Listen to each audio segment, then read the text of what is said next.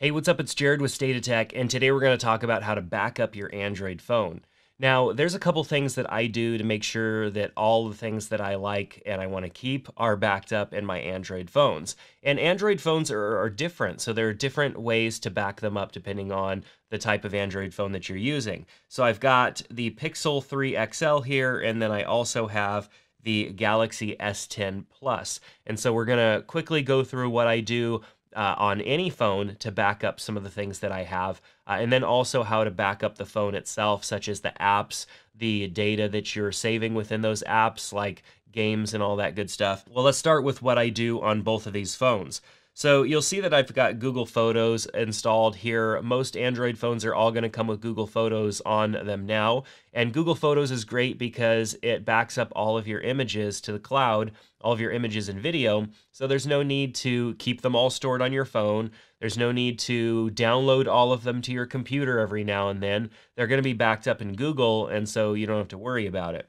Now, if you're on the Pixel uh, device, Pixel phones come with uh, original storage of those images. If you're on another phone and you use Google Photos, Google Photos is going to give you free unlimited backups, but those images are going to be compressed just a little bit. Now, I rarely am able to really tell the difference in the quality uh, of the images. Google does compress them a little bit, um, so they give you high quality backups to your images. Um, but nonetheless, they still look uh, absolutely fantastic. Um, but if you don't have a Pixel phone and you want to um, and you want to get uh, a little bit better quality images saved, you can choose to use your your Google uh, One storage, I think is what it's called now, Google One storage, uh, to utilize um, the saving of, of bigger images and all that stuff. So I do that uh, when I'm not on one of my other devices because you know when i'm when i'm talking about photos and stuff and camera phones i want to make sure i have my original photos but it's not really a necessity. Now, if you save other stuff to your phone, uh, such as music and movies, um, a, a phone may have the option of having a SD card in it. And an SD card is a great way to save some of those larger files and make sure that they're not living on your phone, on the phone's physical storage. Um, not all phones support that. For example, this phone does, but this phone does not. So depending on the phone, you may or may not be able to use uh, SD card storage. Um, now, for those of you that just really don't want to be in the cloud at all and use any cloud services, it's probably pretty tricky to do on phones these days, but a phone with an SD card may be your best option because at least the backing up of all of your data can be done to an SD card instead of having to be done uh, in the cloud. So Google Photos is pretty much um, the only app that I use as far as backing up my photos and videos. I also use Dropbox as well. Uh, Dropbox is great for backing up documents and files and stuff like that that I may open in an email and save to my phone. I can then save those in Dropbox. And so that way, between like documents and images and videos, I have all that stuff backed up and I'm not having to uh, worry about losing anything. Now, on a Pixel, if you're wanting to actually back up the software, uh, it does all of this stuff uh, by itself, but you may want to force a backup in case your phone hasn't been plugged in in a while, or maybe you just want to check to make sure that your phone is uh, being backed up. So from the search, just do a search for backup, and you'll see we've got um, we've got our backup settings right here you can see it says that it's backing up to my Google Drive account and it gives me that email address. So you want to make sure that these are correct. You want to make sure that it's also the same account that you use to download all of your apps from. Because next time when you go and log in uh, to a new phone and you need to restore your phone from its uh, last backup, you're going to want to make sure that that's the same account that you downloaded the apps from. Otherwise, if there's some paid apps uh, it's going to check it against the Google account that you're logged into, and the purchase history isn't going to be there. So you kind of want to make sure that those are matched up. Then it also shows the active backups, which are backups that are happening uh, periodically. It shows my app data was backed up an hour ago, call history yesterday, and all of that stuff. So if I want to force it, I just simply tap backup now, and it's going to back up all that data. Now, besides backing up using Google, so this is backing up to Google, which uh, probably is the best way, I think, for Android phones these days because backing up to Google means that when you go and log into your new device, the reason that you would need a backup is something happened to your old device. Uh, logging into your new device, it's going to pull in all that data and easily restore your phone. I found, especially on Pixel devices, using Google is just the best because it's so well integrated. Um, Samsung has its own backup service as well using uh, Samsung's cloud service. Um, it works really good as well, but you can also back up to Google. So you can see that backup process is going to take a couple of seconds. While we wait, we'll jump into our uh, Galaxy phone here. So I'm going to swipe down just like I did on the Pixel. I'm going to tap on the gear to get to the settings here. And of course, I can just do another search and I can do a search for backup. So we've got backup and restore, we've got backup my data, we've got backup data, we've got backup account. On the S10, on the Galaxy phone, we have all sorts of options. Um, so let's just go to uh, accounts and backup.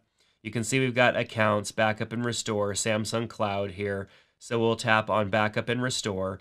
We could backup data using our Samsung accounts. I could tap on that and it's going to show me all the data that I have backed up and my available cloud storage. Now it shows that my backup was done a couple of days ago, so I might want to tap on backup and let it go through that backup process. So it's going to go through and check everything and make sure that everything is backed up, and it's going to put that in the Samsung cloud. Um, so Samsung Cloud works really good on the Samsung devices, especially if you know that your next purchase is going to be a Samsung device. If your next purchase is not going to be a Samsung device, that's where you might want to make sure that you're backing up to more than one place than just the Samsung Cloud. Of course, these phones are getting good at switching between them now. So if you're, say, your next phone was a Pixel, you can just connect the cable to your device uh, with the little adapter these phones come with and use the app to, to migrate everything over. But that's assuming that you have your old phone uh, anyways. If you had something bad happen to your your Galaxy phone and you wanted your next phone to be another device such as a Pixel, but all of your backup data was saved in Samsung, then it's going to be a little bit tricky for you to go from a Samsung cloud backup over to uh, like a Google Pixel device or an LG or some other sort of device. Um, so let's go back here. You can see there's a restore data option as well. You can see here that we can back up our data to Google also, and you want to make sure that this is turned on. So back up my data to your Google backup account. And just like I said about the Pixel phone, you want to make sure that you're backing up to your Google account, that all of your app purchases, in app purchases, subscriptions, and all that stuff are taking place in. I've just found that that's better. Uh, so make sure that you're doing that. Make sure that you have automatic restore turned on. Um, I can also tap on my Google account here. Notice that I'm now looking at the same page that I had over here on this phone. So we can see here how old our backup data is into our Google account.